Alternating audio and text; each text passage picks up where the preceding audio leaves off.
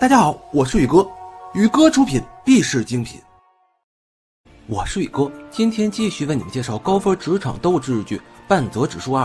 半泽认为篡改数据一事是有人背叛银行，在背后命令曾根奇这样做的，是要揪出这只大叛徒。原本承诺接收帝国航空五百名冗员的 S.H 航空，却因白井大臣施压，新航线申请被驳回了。为半泽介绍 S.H 的开头航古川也受此牵连，卷入重大事态之中。白井大臣一脸严肃地找到了他，半泽要白井大臣解释一下，为何 S.H 提交的新航线申请被驳回了。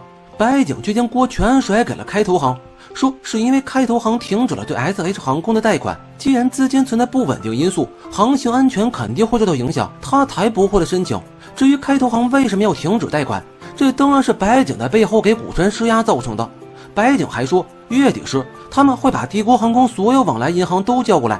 明着暗示半泽，届时他就算想不放弃债权，也独木难支了。森山找古川询问具体原因，古川欲言又止，没敢道出实情。但即便如此，半泽也能看出这是白井向他施压的结果，并推测银行里肯定有人在向政府通风报信。曾根杰在审查不实，基本常务曾是他的上司，而大和田自从金融厅下达整改令后就变了态度，声称银行应服从政府指令。二人中的一人必与政府有勾结，成功让各大银行放弃债权，是白井向世人展示能力权柄的一大良机。他定然不会撤回决定，他还想当上日本首位女首相呢。半泽想让中央银行代替开拓行为 S.H 航空提供贷款，刚将此事对大和田宇基本道出，白井大臣突然上了电视，说如今所有银行都已同意放弃债权，只有东京中央银行不同意，抨击中央银行只考虑自身利益。不顾全体国民利益，中央银行一下成了全社会的对立面，基本要半泽放弃 S.H 贷款一事。大和田也阻止半泽，表示不想看到行长再受到类似的羞辱了。半泽直言，一定有人在向政府通风报信，问是不是大和田。大和田表示，现在没空讨论这个，现在中央银行不能再忤逆政府，不然行长会受到更大伤害。看来这内奸定是大和田没跑了。这时，半泽突然接到了森山出事的消息。森山为寻找用的 S.H 出资的公司打电话联系时，不小心从楼梯上摔了下来，好在没伤到关键部位。他还帮忙打探哪家公司愿意接受帝国航空的荣誉员工。森山打心眼里希望 S.H 有天可以成长为与帝国航空比肩的大企业，也想借此机会对半泽报恩。此事极大的鼓舞了半泽，发誓一定要将此事办成。半泽找到白井大臣。问他做的这些事儿是不是因为自己违抗了政府要求，才故意针对自己？你只是个微不足道的银行职员，我这个国交大臣相当于机长，你们这些螺丝钉只要老实听指令干活就行了。半泽却没给他面子，我身为螺丝钉也有自尊，如果有人看不起这份自尊，却还能占据领队的位置，我觉得这才是国家的不幸。航空与 S.H 合作能使很多人都得救，还有益于整个日本发展。为促成这件事儿，有人在拼命努力给两家企业牵线搭桥，你却肆意践踏这份苦心与自尊。航空与 S.H 的未来由我来守护。开头行的古川向白水银行介绍了 S.H 航空，白水银行同意给 S.H 提供巨额贷款。古川告诉半泽，开头行是政府背景的银行，开头行里的高层以前基本都在政府里当官。古川曾多次呼吁进行组织架构改革，这次内阁会议主题之一就是开头行的民营化法案。但就算法案获得通过，开头行官民一体的性质也不可能轻易得到改变，他们无法摆脱政府的束缚。古川个人虽然也反对放弃债权，但他也无法违背上面的意思。别看白井大臣表面上风光，实际上仍是基部议员手下的傀儡，主子让他往东，他也不敢往西。宇哥，我都替他难受。董事会当天，半泽仍坚持拒绝放弃债权。大和田拍案而起，斥责半泽没认清眼前状况。半泽指出，有借就有还，这是连小孩都明白的道理。大和田仍唱反调，指出话虽如此，但舆论根本不接受。现在就算受到损失，也要首先考虑到社会的信任。你造成了这么大麻烦，简直根本没把行长当回事儿。我刚才说的这些，都是行长一开始就说过的。对我行来说，回收债权是一项重大使命，是关系着我行尊严的重大任务。行长低头道歉，收下整改意见书，并不意味着向政府屈服，这恰恰向全社会展示了我们中央银行是一家黑白分明、明辨是非、敢于承认错误的银行。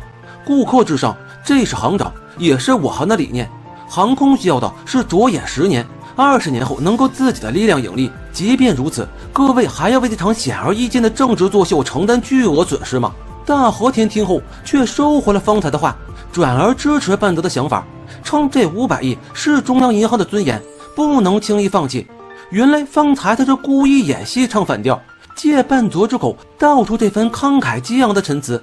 其他董事纷纷举手同意拒绝放弃债权，只有纪本一人反对。真正的老狐狸终于露了尾巴，指出现今其他银行都同意放弃债权，只有中央银行不调不依。基本愿为自己的意见赌上银行职员生涯。若拒绝放弃债权，除非解除自己的董事职务，基本是债权项目负责人，且势力很大。一拍桌一跺脚，基本派其他董事不得不举手同意了他的意见。行长也只得同意了放弃债权，但此事落锤定音之前，半泽要求再加上一个条件：若主要往来银行开头行反对放弃债权，中央银行会以他们的行动为准。基本轻蔑的同意了，半泽终于留下了最后的希望。现在可以确定，银行内勾结政府的大叛徒就是基本了。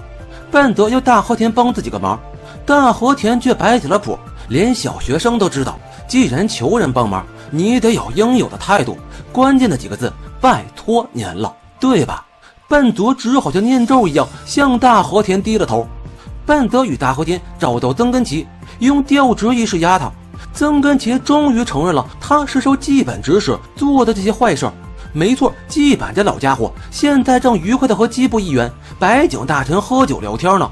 开头行古川将半泽叫了过去，现今半泽唯一的希望就是开头行了。但古川说，高层已经决定放弃债权了。虽然他已被半泽与森人的银行家精神所打动，但介绍其他银行已经是他能尽的最大努力了。当然应该拒绝放弃债权，这一点不仅是他，开头行里几乎所有人都是这么想的。但行里的一部分高层不允许他们拒绝，不让他们反抗政府。有些事他无论如何都做不到。听完这些话，半泽也哽咽了。终于到了联合发布会这天。白井大臣以及六大银行相关负责人、媒体记者齐聚一堂，只有开头行的古川副部长还没到。不等了，乃原律师宣布发布会开始，要所有银行先后公开表态是否同意放弃债权，按融资额从低到高的顺序汇报。谁知关键时刻，大东京银行负责人居然说他们会服从主办银行及第二主办银行的决定。嗯，是身为银行家的尊严让他做了最后的挣扎。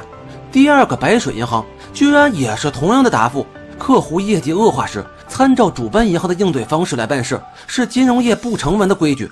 若主办及第二主办银行不放弃债权，那我行作为其他往来银行也不能轻易放弃债权。这话真是太提气了。接下来，另外两家银行也先后给出了同样的答复。乃源与白井脸色越来越难看。终于轮到中央银行负责人半泽了。半泽的答复是绝不接受。这与之前的董事会上的决定不一样啊！半泽表示，我行的决定仅适用于开投行同意放弃债权的情况。